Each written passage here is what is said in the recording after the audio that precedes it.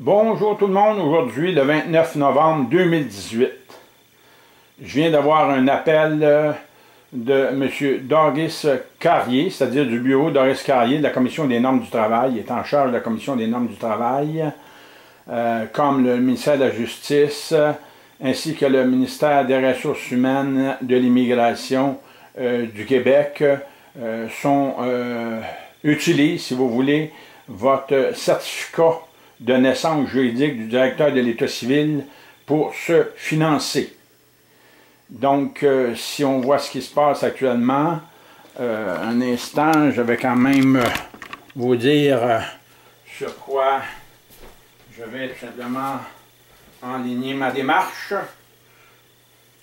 Ah, ça, c'est dans le respect des gens qui croient en leur identité donc, euh, je ne sais pas si vous voyez bien ici. C'est le grand jury. Hein? CanadaGrandJury.ca. Ça se trouve être le grand jury du peuple du Canada. Le grand jury du peuple du Canada a reçu tout simplement du juge Jean-François Michaud euh, de la Cour du Québec euh, le, pouvoir de faire la preuve euh, c'est-à-dire, c'est pas la Cour du Québec, je pense que c'est la Cour supérieure du Québec, Jean-François Michaud. Peu importe qu'il soit de la Cour supérieure ou de la Cour du Québec, c'est quand même une Cour qui exerce sa fonction au Québec. Et le juge Jean-François Michaud a dit que ni lui ni personne dans le palais de justice de Saint-Jérôme a la capacité de faire de la, preuve de la légitimité légale et constitutionnelle de la Cour supérieure du Québec. Euh, donc, n'oubliez euh, pas que le 14 décembre prochain, dans le dossier 500-17-102-828-186. Ça, c'est une poursuite judiciaire contre l'Assemblée nationale, contre le président de l'Assemblée nationale et contre le procureur général du Québec au sujet de l'article 133 de la Constitution canadienne de 1867, alors qu'en 1997, ils ont abrogé l'article 93 sans qu'on ait signé la Constitution du Québec de 1982, et Jacques Brassard du Parti québécois, ainsi que le lieutenant, euh, le gouverneur général du Canada, Roméo Leblanc, se sont félicités publiquement de cette euh, abrogation de l'article 93 dans un Québec qui est un pays depuis 1968, qui a renouvelé son statut de pays en 1991 dans le Code civil du Québec et Code de procédure civile du Québec, euh, Baudouin-Renault. Et finalement, il a fait la loi la Constitution du Québec de l'an 2000, qui n'est pas une loi, qui est un bulletin, le bulletin RLRQ 2000, chapitre E20.2. Donc, euh, on commence immédiatement. Je m'avance avec ça ici, ça ne sera pas très long. Je vais quand même honorer mon chandail et la population qui croit qu'elle est, euh, euh, est composée de citoyens souverains, suffisamment souverains pour être capables de nommer au suffrage universel, donc euh, par élection, elle est capable de nommer son gouvernement. C'est arrivé pour le gouvernement Legault. L'année prochaine, 2019, ça va être pour le gouvernement de, du Parlement du Canada. Donc, je commence l'enregistrement, puis je vous donnerai les explications ensuite. Mais écoutez bien, bien ça, ça va être, c'est étonnant, parce que je vais quand même pouvoir euh, vous montrer immédiatement. Ça, c'est un certificat de naissance. Si vous voyez en bas, euh, c'est le ministère de la Justice. OK? Là, j'ai eu un appel de Doris Carrier de la Commission des normes du travail. Je l'ai mis dessus. Et euh, donc, euh, c'est pas le directeur de l'État civil qui ne respecte pas son mandat, qui ne respecte pas son vidimus, qui ne respecte pas son engagement. C'est tous les ministères qui utilisent le chèque du directeur de, l'État civil, donc euh, du certificat de naissance juridique de la personne physique, une a une personnalité juridique. Donc, dans mon cas, moi, Jacques-Joseph Pierre-Antoine Normandin est né le 13 juin 1951. Donc, il n'a pas de personnalité juridique parce que c'est une conception naturelle. sous l'inscription de naissance juridique 11 951 04 149 844. Et cette partie du, comment je peux dire, donc du certificat de naissance du directeur de l'État civil euh, et euh, reçoit une certification conforme du, Vidimus, du directeur de l'État civil qui a, qui apposé sa signature.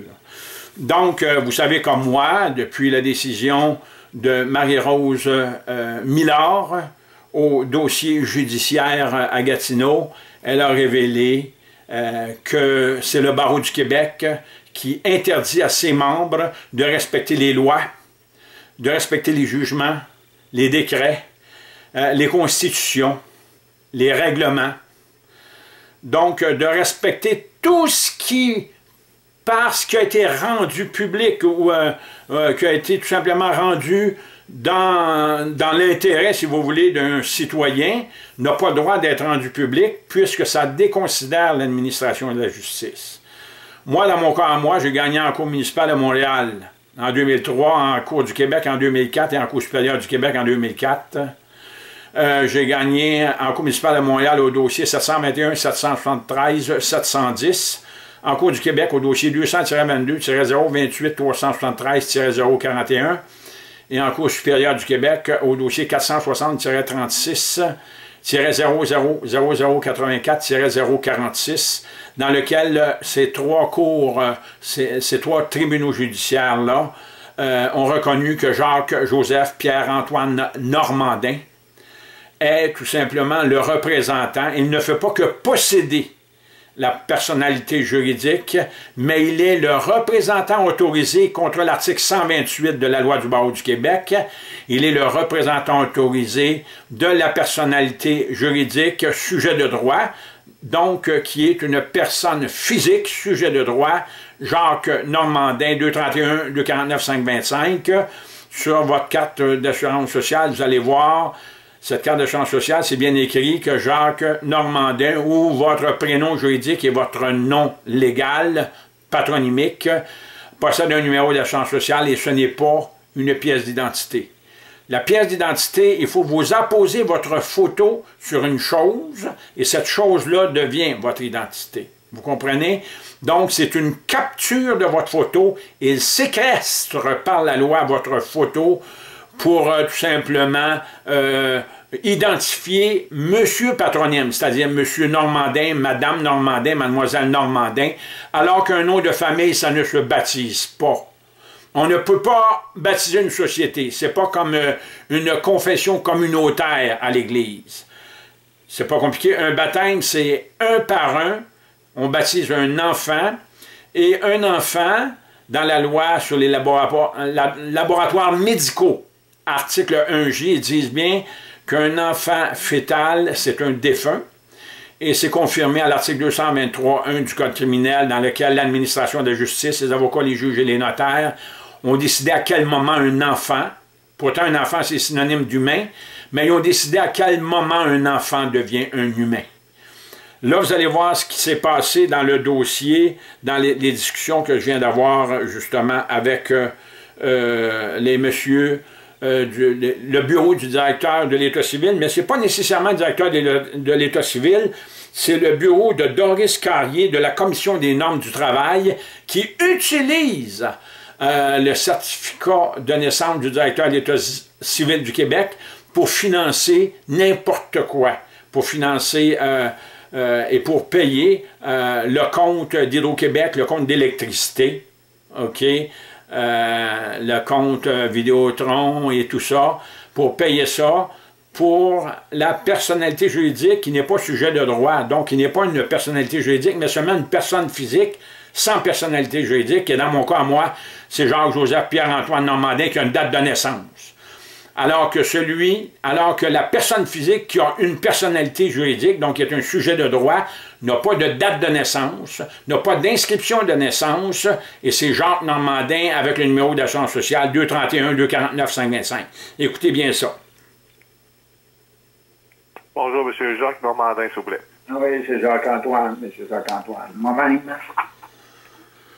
Oui, euh, ici Barthélemy de l'État civil. C'est vous qui avez fait une demande de certificat de naissance. Euh, oui, exactement. J'ai okay. ça pour euh, fournir ça à la commission. Ce n'est pas de l'État civil, parce que quand je regarde le numéro de téléphone, c'est Doris Carrier. Et Doris Carrier euh, se trouve à être à la Commission des normes du travail. il est en charge de la Commission des normes du travail du Québec. Donc déjà, c'est un mensonge qui s'est préparé là. Écoutez bien ça. La construction du Québec, pour Jacques Normandie, c'est... Euh, euh, écoutez, c'est que ça me prend un document qui n'est pas altéré, parce que le vieux que j'ai, il y a altération dessus, et puis... donc, automatiquement, ça me prend un document neuf, si vous voulez. Euh, que je puisse envoyer ça à la Commission de la construction du Québec pour euh, qu'ils puissent euh, libérer le, fonds de pension là, qui traîne depuis 2016. Oh, OK, OK, OK. moi, j'ai reçu, j'ai votre dossier devant moi. Puis j'ai vu toutes les preuves, toutes les pièces jointes que vous avez fournies avec votre demande. La seule affaire, c'est que votre preuve d'adresse qu'on a est passée date. Voyez-vous, eux autres ont besoin de mes pièces. Quand tu donnes des pièces, tu rentres en contrat avec eux autres, et là, c'est eux autres qui ont tes pièces. C'est pas toi qui as leurs pièces. Toi, tu leur demandes leurs pièces parce qu'ils t'ont, ont corrompu ton identité, ton image, ta langue, ton existence. Tu n'es pas un humain, tu es un animal. Et un animal en droit, ça n'a pas de conscience. Ça ne fait pas la distinction entre le bien et le mal. Et euh, la juge, euh, Madame euh, Marie-Rose Millard, a bien dit à Mylène Desilets, vous êtes l'animal qui possédait la personnalité juridique. Et Mylène n'a pas dit qu'elle était l'animal. Elle a dit, je suis Mylène qui possède la personnalité juridique. Mais si elle avait dit oui, je suis l'animal, automatiquement la juge venait de condamner Mylène parce qu'un animal ne fait pas la distinction entre le bien et le mal. Et pour l'administration démocratique, donc les élections. Pour l'administration judiciaire, quand vous passez devant un juge pour n'importe quelle poursuite judiciaire, pour l'administration économique, quand vous signez n'importe quel contrat avec n'importe qui, vous êtes un animal qui ne fait pas la distinction entre le bien et le mal, ce qui permet au barreau du Québec, parce que c'est lui qui protège et qui préserve le statut d'animal partout au Canada, c'est le barreau du pays 1968-1991 et de l'an 2000 du Québec. On continue. Pour nous autres, vous êtes 22 novembre 2010. Ah! Ah, écoutez, ça se peut qu'il y a eu euh, une erreur, là, euh, parce que je viens, euh, justement, j'ai vu qu'il y a eu l'accusé réception, là, à Poste Canada, mais il n'y avait pas la signature du monsieur en question, je pense. oui, mais c'est ça, c'est de Ouais, c'est du 22 novembre 2010, c'est comme trop loin. On a la signature toute, mais c'est trop loin. Euh, Êtes-vous capable, est-ce que vous avez des pièces... Voyez-vous, il dit que c'est trop loin la lettre que j'ai reçue de, la Commission d'accident, euh, la Commission de la construction du Québec, me demandant une copie du certificat de naissance du directeur de l'État civil en 2010. Je ne l'avais pas fourni. Peut-être pour ça qu'ils retiennent actuellement euh, mon document, parce que je n'ai pas changé. Vous comprenez? C'est toujours l'enfant qui est concerné dans votre certificat de naissance du directeur de l'État civil. Ce n'est pas un adulte, c'est l'enfant. Et euh, celui qui est le curateur de ça, celui qui est le titulaire, euh, celui euh, qui a autorité d'administrer ça, c'est le directeur de l'État civil, mais il le fait pour servir tous les ministères qui peuvent exister ici au Québec pour pouvoir financer tous les ministères au Québec, pour financer le ministère des Transports, pour financer le ministère de, la Santé publique et euh, pour, euh, pour financer le ministère de la Justice. Donc, tous les ministères que vous pouvez imaginer, c'est financé euh, par le certificat de naissance du directeur de l'État civil. Et dans le journal comptable, on sait bien que l'actif et le passif, mais ça s'annule à la fin si on veut que ça balance. Donc, il n'y a jamais de, de, perte, il n'y a jamais de, comment je peux dire, de dette euh, valide ici, puisque le journal balance tout le temps et que le gouvernement ne peut pas se permettre euh, une dette dans son journal, il est obligé d'annuler de façon à ce que l'actif soit égal au passif. On continue. Euh, permis de conduire et carte de charge maladie? Non, absolument rien, rien de ça. Écoutez, moi, j'ai une lettre j'ai eu un document, ça a été convenu ça avec le directeur de l'État civil concernant euh, cette fameuse pièce d'identité qui est le certificat de naissance du directeur d'État civil. C'est certain que moi, je peux pas arriver puis euh, euh, commencer à refaire toute cette histoire-là. Jacques Normandin, c'est inanimé, c'est intemporel. Donc, c'est un nom usuel, c'est un pseudonyme. Comme le dit bien le cabinet d'avocat Trudel, c'est un pseudonyme, ça ne vit pas. Et quand on demande à Jacques Normandin, ils vont dire Jacques Normandin. Votre nom euh, courant, c'est Jacques Normandin. Ils disent votre nom de votre. Le pire, c'est quand ils demandent la date de naissance, la, personne en question est obligée de donner la date de naissance de Jacques Normandin qui n'existe pas. Alors que le directeur de l'État civil m'a envoyé un document signé avec le sceau dans lequel il le reconnaît, puis c'est aussi reconnu sur le certificat de naissance du directeur de l'État civil avec euh, euh, la conformité certification conforme dans lequel le 13 juin 1951, c'est la date de naissance de Jacques-Joseph Pierre-Antoine Normandin, et non du nom usuel en réversion sur le talon en bas, qui est un pseudonyme. Et les gens disent dans ce temps-là, ceux qui connaissent pas ça, ben vont dire, oui, c'est Jacques Normandin, c'est 13 juin 1951, c'est pas vrai. Il n'y a pas de date de naissance, lui. Ça, ça date de la loi 6 du d'or de l'an 2 du 23 août 1794 et de la loi française de 1713, qui fait que un nom juif, c'est une propriété qui appartient au gouvernement, et c'est pour ça que le fameux certificat de naissance du directeur de l'État civil, c'est une sûreté qui vaut plusieurs millions de dollars et que le gouvernement possède pour pouvoir donner une valeur, si vous voulez, au territoire canadien. Donc ici, ben, on est 37 millions 400 quelques mille euh, de population et euh, c'est ça qui donne la valeur du territoire canadien. Mais c'est sur un nom, un pseudonyme, c'est comme ça. Donc, ça fait que là, quand on demande une photo, moi, je, suis ouvert à tout, hein, vous comprenez? J'ai gagné ça en cours et j'ai demandé aux tribunaux judiciaires euh, de pouvoir faire respecter l'article 1 du Code civil et de la Charte des droits et libertés de la personne du Québec concernant non pas le permis de conduire, la carte de chance maladie, tout ça, ça, c'est pas des pièces d'identité, même s'il y a une photo dessus, parce que c'est une capture de photo, c'est une séquestration de photo. Et euh, ils n'ont pas le droit de faire ça. Et en plus de ça, quand vous allez dans la loi sur les laboratoires médicaux, article 1J, ils disent bien qu'un enfant fœtal, c'est un défunt. Ils disent bien à l'article 223, 1 du Code criminel, à quel moment l'administration de la justice décide à quel moment un enfant devient humain. Pourtant, un enfant, c'est synonyme d'humain. Comme un chien ou un chiot, c'est synonyme d'animal. Mais ici, le système est fait comme ça. C'est ça la valeur du pays. On est des actifs, on est des choses. Donc, quand vous êtes Monsieur Normandin, c'est comme si vous disiez Monsieur Chose. Les gens ne connaissent pas ça, c'est pas enseigné. Mais moi, ça fait 25 ans que je fais ça et j'ai appris tout ça. Donc là, c'est certain que j'ai demandé à la Commission de la construction du Québec euh, de pouvoir euh, respecter mon identité sur le certificat de naissance du directeur d'État civil. Sinon, je leur dis, vous allez me signer un document, je leur prépare le document, comme quoi ils vont signer ça avec le ministère du Conseil exécutif, donc le cabinet des ministres, et avec le ministère du Travail, comme quoi ils gardent l'argent, ils volent l'argent, parce que je sais que Jacques Normandin, c'est une chose, c'est tout.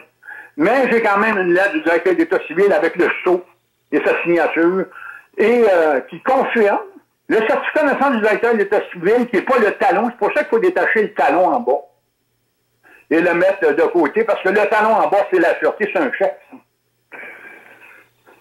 Donc, c'est comme ça, que si vous voulez. Mais moi, si vous voulez euh, euh, n'importe quoi, je vais vous dire franchement, mais j'ai pas de peine de conduire, on m'a enlevé. Quand j'ai gagné, moi, j'ai fait reconnaître la distinction entre les deux, euh, en cours municipal de Montréal, en cours du Québec, en cours supérieur, j'ai perdu carte de chance maladie, permis de conduire, ils m'ont tout enlevé au complet, même un compte bancaire.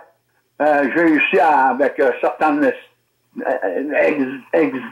exemption, si on veut, il y a certaines exemptions, euh, de pouvoir quand même être capable de, fonctionner parce qu'il y en a qui ont compris un peu ce qui se passait.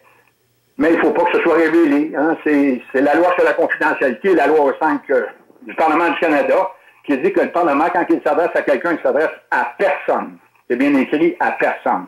C'est seulement le Code civil et le nom de famille, puis le nom de famille ne se baptise pas. C'est une chose. C'est créé.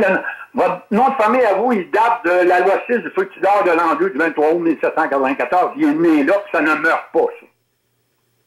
Vous comprenez? Ça, ça ne meurt pas. C'est assez spécial. oui, pas mal. euh, Donnez-moi juste 30 secondes. Je vais demander à mon, à mon patron de voir qu'est-ce qu'on peut faire avec ça. Là. Donnez-moi Mais 30 si vous secondes. soyez bien à l'aise, euh, euh, vous pouvez me rappeler, parce que là, euh, j'ai une course à faire. Euh, prenez, prenez votre temps. Comme je vous dis, moi, si on ne veut pas me donner mon 28 700 de la CCQ, ont juste à m'écrire « on vous vole ». Au moins, je vais être l'exemple pour 37 millions euh, 400 000 de population au Canada. Mais ça en prend un, vous comprenez? Ça en prend un. Moi, je travaille pour vous. Je travaille pas euh, euh, pour euh, maintenir euh, le silence à perpétuité, puis les mensonges et la perfidie de nos gouvernants. Non, moi, je travaille pas pour ça. Et le directeur de l'État civil l'a compris parce que j'ai les documents pour ça. Et lui, je vais le protéger. Lui, je vais le protéger.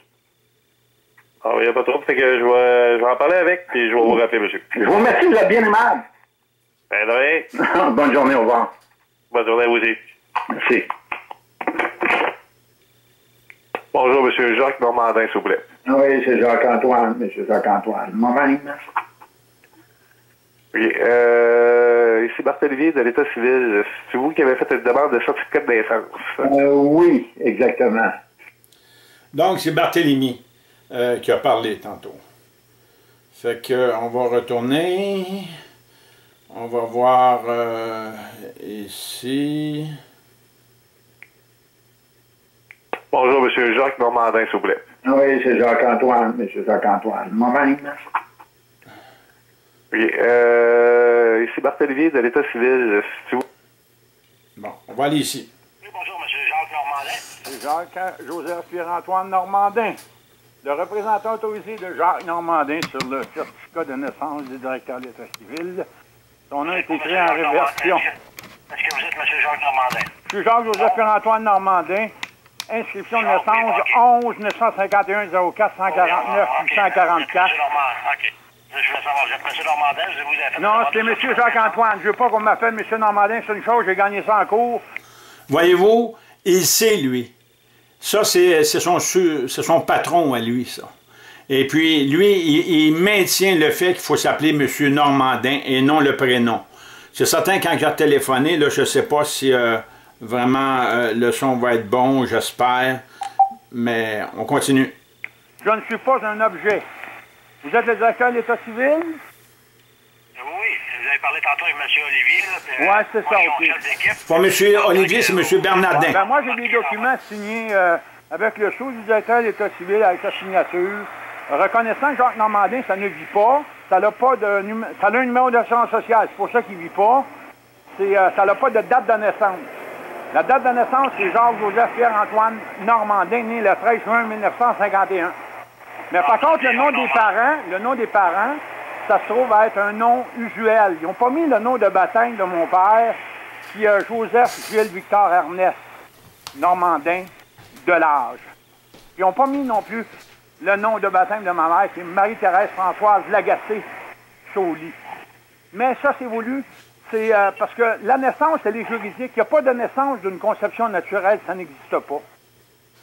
J'ai tout gagné ça en cours, moi. Mais comme je disais à votre monsieur tantôt, monsieur euh, Loranger, Olivier, ouais. c'est Olivier, Olivier, monsieur. Olivier, c'est ça. Là, j'ai expliqué, j'ai dit, écoutez, moi, c'est parce que euh, le certificat de naissance que j'ai, il est altéré. Donc, je ne peux pas présenter ça. Et euh, j'ai trouvé le document de la CCQ en 2010, dans lequel il me demandait d'expédier mon certificat de naissance du directeur d'État civil. Donc, j'ai dit, bon, ben, écoute, on va faire la demande, parce que là, ça traîne depuis euh, 2016. Ils me doivent euh, 28 700 piastres. Et puis, ils ne veulent pas me le payer. Donc, euh, là, j'ai dit, coudon, je vais mettre toutes les chances de mon bord. Et là, ben, j'ai envoyé euh, la demande. Et puis, euh, sinon, c'est certain que il va y avoir des lettres qui vont être expédiées dans lesquelles je demande la signature des gens, comme le ministère du Travail, le ministère du Conseil exécutif du Québec et la Commission de la construction du Québec, Michel Pessinotte, qui se trouve être en charge du dossier.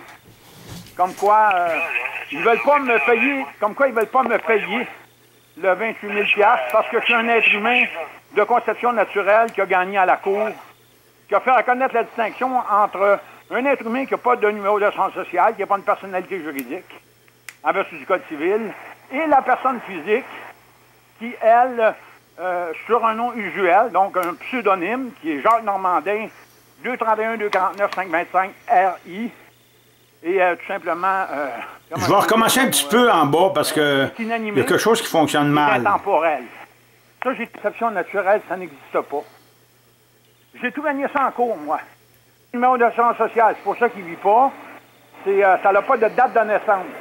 La date de naissance, c'est Jacques-Joseph Pierre-Antoine Normandin, né le 13 juin 1951. Mais par contre, le nom des parents, le nom des parents, ça se trouve à être un nom usuel. Ils n'ont pas mis le nom de baptême de mon père, qui est Joseph Gilles Victor Ernest Normandin de l'âge. Ils n'ont pas mis non plus le nom de baptême de ma mère, qui est Marie-Thérèse Françoise Lagacé Chauly. Mais ça, c'est voulu. C'est euh, parce que la naissance, elle est juridique. Il n'y a pas de naissance d'une conception naturelle, ça n'existe pas. J'ai tout gagné ça en cours, moi. Mais comme je disais à votre monsieur tantôt, monsieur euh, Loranger, Olivier, monsieur Olivier, c'est ça. Là, j'ai expliqué, j'ai dit, écoutez, moi, c'est parce que euh, le certificat de naissance que j'ai, il est altéré. Donc, je ne peux pas présenter ça.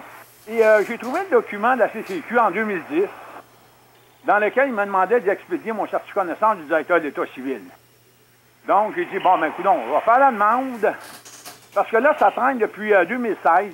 Ils me doivent euh, 28 700 piastres. Et puis, ils ne veulent pas me le payer.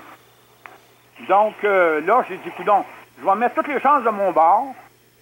Et là, ben, j'ai envoyé euh, la demande. Et puis, euh, sinon, c'est certain que il va y avoir des lettres qui vont être expédiées dans lesquelles je demande la signature des gens, comme le ministère du Travail, le ministère du Conseil exécutif du Québec et euh, la Commission de la construction du Québec, Michel Pessinotte, qui se trouve être en charge du dossier.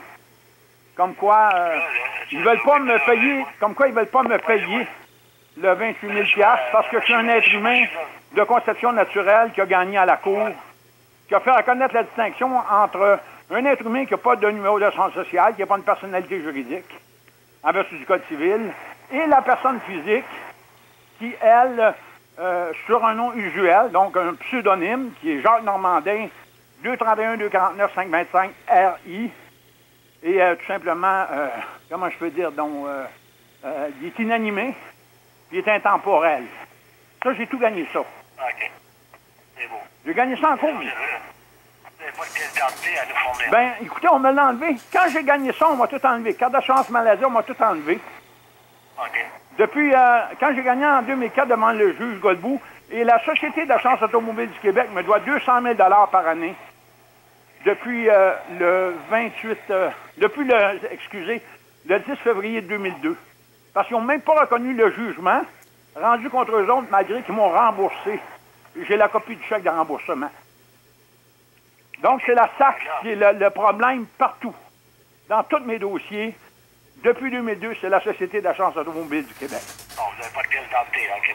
Donc, ça se trouve à être la loi A-2.1, règlement numéro 4, dans lequel euh, les gens de la Société d'assurance automobile du Québec, du ministère des Transports, de l'Auto-Québec et euh, de, de la Société des alcools du Québec ont interdiction de discuter d'existence quelconque. Donc, si vous leur posez une question sur votre existence, ils n'ont pas le droit d'en parler. Ben, la seule pièce d'identité que je peux avoir, c'est euh, celui de la personne inanimée, Jacques Normandin, son numéro d'assurance sociale. Mais ça, c'est pas une pièce d'identité. Parce qu'il n'y a pas de photo, puis les photos, n'oubliez pas que c'est une capture. C'est une séquestration. Tu n'as pas le droit de mettre ta photo sur euh, une chose. Vous comprenez? Et le patronyme, ben, c'est une chose. Ça date de la loi 6 du fructidor de l'an 2, du 23 août. Voyez-vous, ça, ça veut dire que c'est pas moi qui lui demande de me fournir les preuves qu'il a mon identité. C'est lui qui me demande à moi de lui fournir comme humain naturel, comme conception naturelle, ma preuve que j'existe, mais que j'existe, que j'existe, mais dans, euh, comme être inanimé, comme être intemporel, comme une chose. Et aussitôt que je vais leur donner ça, ils vont dire OK, monsieur chose. Ils me le diront pas de même parce que c'est tout caché. C'est la corruption de notre identité. Mais c'est là qu'ils vont continuer à, à faire les démarches pour euh, me donner ce que j'ai de besoin. 1794. Et quand ils ont adopté cette loi-là, celui qui refusait le nom de famille était emprisonné et perdait ses droits civils. J'ai tout gagné ça, moi, à la Cour. Puis les avocats et les juges ne veulent pas respecter ça. Mais comme j'ai dit à votre monsieur Olivier tantôt, Oui. j'ai dit, moi, c'est certain que le directeur de l'État civil, c'est le premier qui va protéger.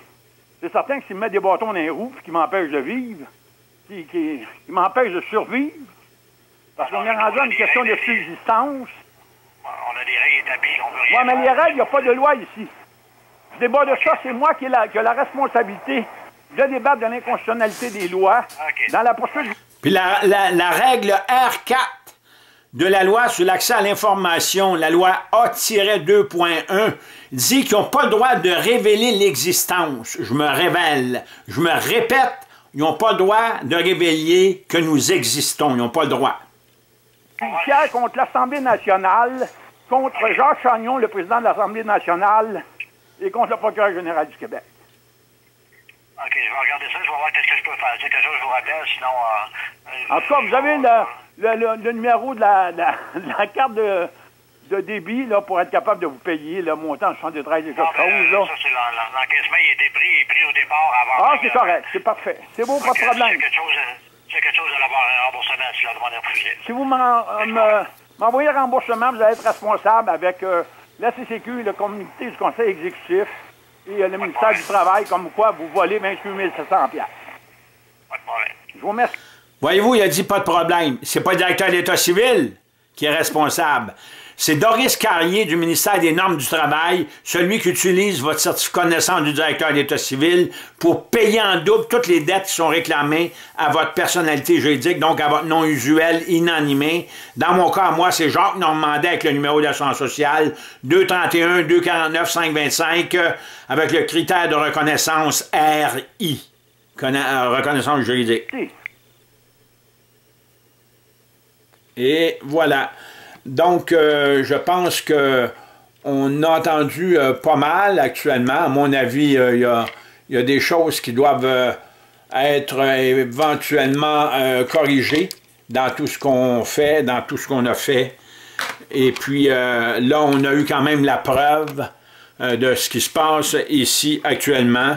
Et on a vu quand même que M. Doris en question, le numéro de téléphone, je l'ai ici. Euh, Doris Carrier, le, directeur de l'État civil, Doris Carrier. Euh, attendez un petit peu. Le DAC. Mais, tu sais, le directeur de l'État civil, c'est pas lui, c'est les ministères autour qui répondent pour lui. Lui, il est directeur. Et lui, quand il reçoit un document, lui, il répond à ce que je lui demande. Mais ensuite de ça, quand il reçoit un document de n'importe quel ministère, que ce soit le ministère de la Justice, le ministère de la Justice se fait passer pour le DEC, pour le directeur de l'État civil. La même chose que les substituts du procureur de la Couronne, le procureur de la Couronne et tout ça, se font passer pour la reine, pour sa majesté, pour le souverain, alors qu'il n'y a pas de souverain, il n'y a pas de majesté, il n'y a pas de reine ici depuis la dévolution de la couronne. Ça a commencé, ça, au chapitre 14 euh, de la loi sur la révision du droit statutaire du Canada de 1893. Ensuite de ça, ça l'a, ça l'a continué dans l'arrêté en Conseil du Québec, chapitre 53 de 1897, qui accorde aux juges l'immunité de violer, de rendre des jugements sur des lois constitutionnelles du Parlement du Canada ou de la législature du Québec. Aujourd'hui, cette loi-là, c'est la loi chapitre P24 sur les privilèges des magistrats.